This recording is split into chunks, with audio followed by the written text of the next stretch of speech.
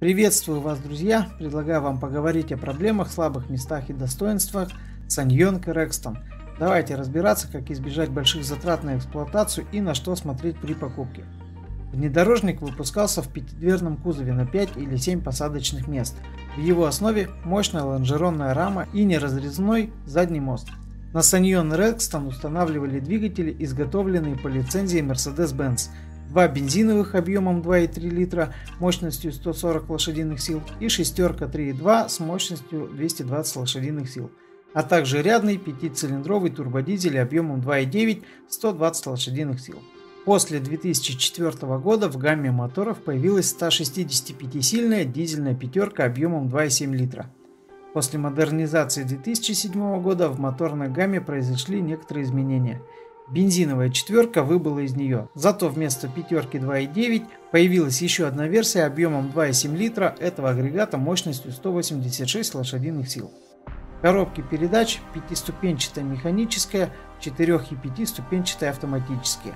После модернизации 2007 года механику и четырехступенчатый автомат, устанавливаемые с R6 объемом 3,2 литра, упразднили. С этим мотором стало сочетаться только автоматическая на 5 ступеней. Кроме того, у Rexton два типа трансмиссий – Part-Time с жестким подключением переднего моста и Smart Tot автоматически задействующая посредством вискомуфты переднюю ось при проскальзывании задней. Есть и понижающая передача в трансмиссии. Доставшиеся от Mercedes моторы в целом надежны, но требовательны к качеству топлива. Свечи и катушки зажигания на бензиновых двигателях – расходный материал. На моторе 2,3 литра без предварительных симптомов выходит из строя бензонасос – После 120 тысяч километров в моторе начинают подтекать всевозможные прокладки и сальники. R6 надежнее, но теплонагруженнее и больше боится перегрева, поэтому раз в два года надо чистить радиатор и взять за правило следить за температурой двигателя. Со временем выходят из строя датчики положения коленвала и холостого хода. В группе риска датчики массового расхода воздуха и лямбда-зонды. Турбодизели долговечны, особенно 2.9. Со временем изнашиваются форсунки впрыска, топливный насос высокого давления и турбина. В трансмиссии при 100 тысячах километров изнашиваются подвесной подшипник и крестовины кардана. Автоматические пятиступенчатые коробки потребуют ремонта к 180 тысячам километров, а четырехступенчатые еще раньше. В подвеске слабые шаровые опоры в сборе с рычагами и ступичные подшипники, которые живут не более 50 тысяч километров. Любой из моторов производная от Mercedes-Benz, поэтому отличается долговечностью. Правда, на качестве топлива и масла экономить нельзя. В противном случае придется часто менять свечи и катушки зажигания, датчики кислорода, массового расхода воздуха и нейтрализатора. При покупке турбодизелей желательна их полная диагностика. Особое внимание следует обращать на турбины и топливный насос высокого давления. Механическая коробка неубиваемая. Сцепление служит в среднем 120 тысяч километров. В автомате через 60 тысяч километров заодно с фильтром рекомендуется менять масло.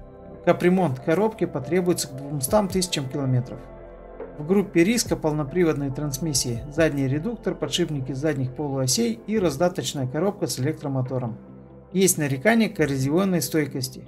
Половина владельцев тратит много сил и времени на удаление ржавчины с кузова. По периметру ветрового стекла тоже возникает коррозия и еще вздувается краска передней подвески слабые шаровые опоры нижних рычагов, а стойки стабилизатора придется обновлять на каждом ТО.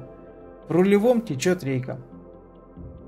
В базовом варианте с мостом-балкой к 50 тысячам километров придется менять стойки и втулки стабилизатора. Быстро проседают пружины, даже если вы редко грузитесь под завязку.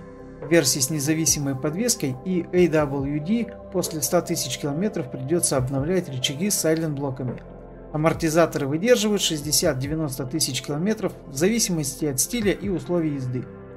Ну а если вы являетесь владельцем Sanyong Rexton, то пожалуйста опишите проблемы, с которыми вам пришлось столкнуться за время эксплуатации авто. Возможно именно ваш отзыв поможет зрителям при выборе машины. На этом у меня все. Всем большое спасибо за внимание. Буду вам очень благодарен, если подпишетесь на канал. До скорых встреч!